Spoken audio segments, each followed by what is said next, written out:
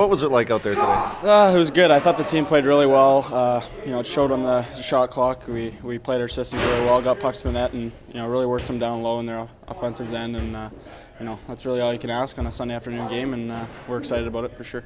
What's the key to the, the structure that you guys play out there that you have success today, but uh, have a limited success yesterday?